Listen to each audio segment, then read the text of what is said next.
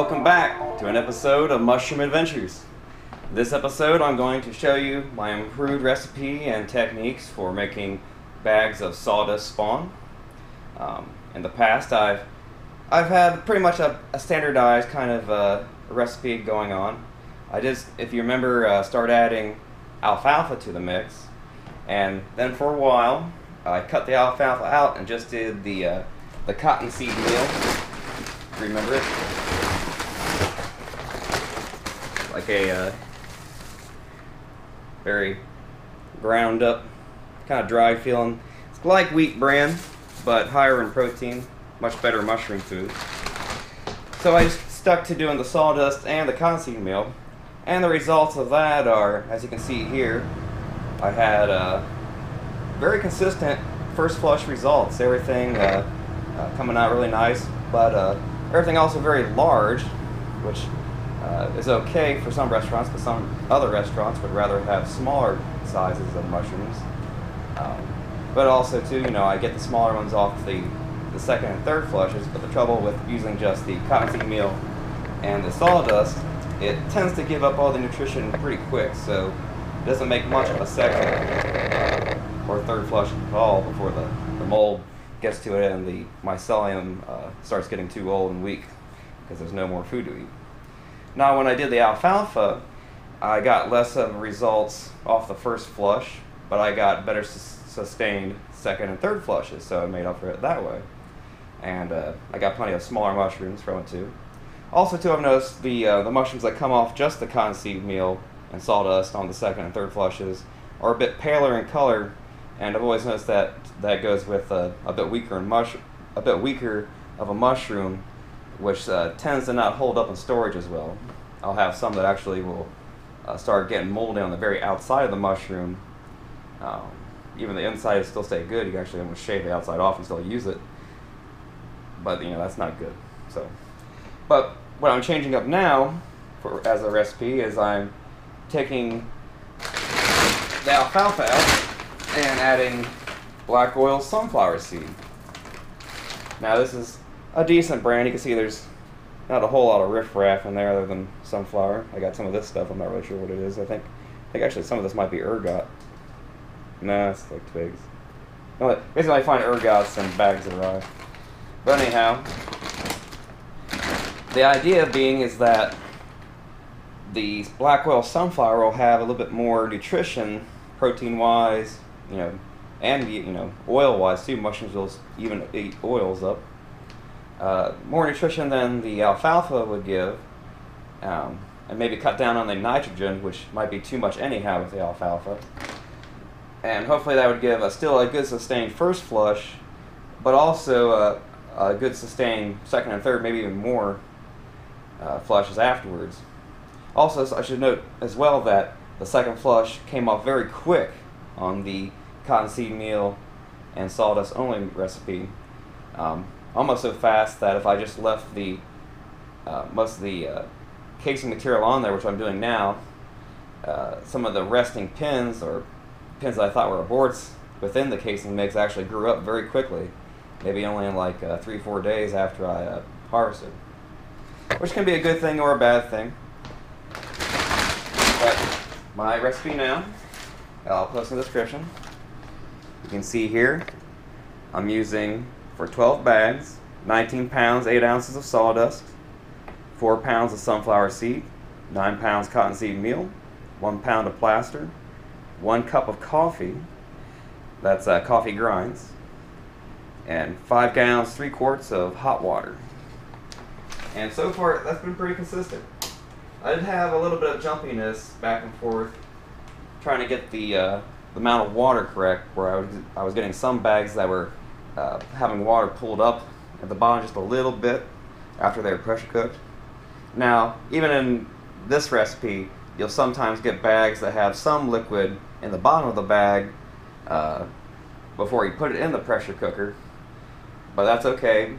Uh, the sunflower seed, which doesn't absorb the water too well at the start, uh, and the harder bits of uh, sawdust will absorb that excess water by the time it's done pressure cooking and when you mix it up during spawn or uh, spawning time. So that's not it's not gonna be a problem. Just uh, keep an eye on it though. Sometimes if your ingredients have been sitting out in the garage during the summertime, when it's been very humid, it'll take up a lot more moisture. And uh, when you add the same amount of water, it'll appear to uh, be too much. So you might want to scale back if that's the case. I try to keep all my stuff in a dry garage, gra- dry garage, and the, the door shut most of the time, especially if it's raining, just to try to keep everything nice and dry. Plus, I go through stuff pretty fast, so I'm, I'm using uh, fresh bags and stuff pretty quickly. So uh, let's get the stuff mixed up and the recipe and see what it looks like after I've mixed it. You can see here everything mixed up. Now it is a bit wetter. I dig down to the bottom, it doesn't seem to be too bad in this batch, but I don't see any standing water. But it definitely feels heavier than it would if it was just cottonseed meal and the sawdust. Let's see if I can I squeeze some some water cores out, but but that's all right because as soon as we cook it up, it'll even out the moisture and be just fine. I'm going to show you the new way that I'm folding these bags up. I'm not using the Tyvek filters them anymore. It really just didn't seem to be necessary, and uh, I get a better vacuum seal when I don't have them. Uh, doesn't let any air back into it. Which before I thought it was kind of problematic because it was a bit hard to get open, but now I have a better technique on opening them, so it's not an issue anymore. You see here I'm just going to fold the edges, as so. Get the gussets in. Now before, you remember, I would go back, fold it back and forth, flip it over, and then tape it across. I got a better way now, it's a lot faster and simpler. Just fold it underneath with the, the patch on the bottom. You can see just fold it all the way to the top touches the base of the bag right there. Kind of crimp it a little bit and then fold it down like that. And then you can slide it next to another bag to hold it there. And then once you get it into the pressure cooker, you just make sure that the folded edge is up against the wall of the cooker, and that way it has no chance of flopping out. And that'll save you the time from putting the filters in and uh, give you a better seal. So if you have to have the bags um, in a tub waiting to be inoculated for a day or two, they'll uh, be more secure and not getting contaminated. It's been about 12 hours, and these cookers have cooled down enough that I don't need any kind of gloves or anything to take the bags out. And you see I'm putting them in these Rubbermaid totes. Each one of these totes will hold 12 of your sawdust bags. And they may bulge up a little bit, and you might have to uh, put a weight or stack the one tote on top of the other to uh, keep the lid down. But I use a spray bottle full of alcohol, I spray isopropyl alcohol, and spray the inside liberally and spray the lid liberally too. And then once it's closed up, it makes a nice sanitary environment that you can keep the bags in there for a couple days. I'll be inoculating tomorrow. I just need the room of these two pressure cookers so I can make some uh, grain spawn bags today. But as you can see, take all those without. Still using the 14 inch pizza pans. They work well. No, no weight on top, that was unnecessary. And again, you can see how the uh, the folds are up against the inside of the rim. Might take a little bit of practice to get them in there without flipping it up, but it's not too hard. But you can see it's well vacuum sealed. And no air is going to get in there. It still flops up, but it's still good.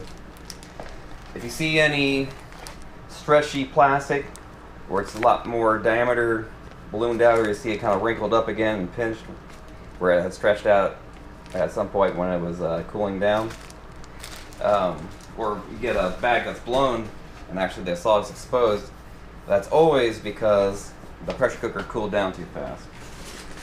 And the way to to control that is to add more blankets or to increase the uh, the fire or um, dial on your electric hot plate. You can see here I have my hot plates over here. I usually have a, a blown bag every once in a while. It's always because of these ones where uh, they don't have the back of the stove an area that's warmer. so they want to cool down a bit faster. So I have to put a lot of blankets on there, about uh, oh, at least two blankets per uh, cooker folded over. Just make sure always when you're putting blankets on cookers that you don't have them dangling over where uh, they can catch fire and cause a hazard. So I'm going to load up all this.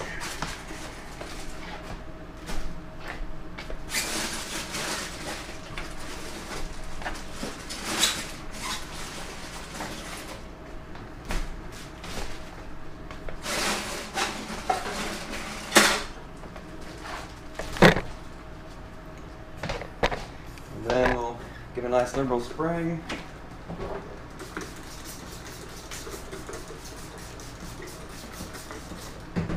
There we go.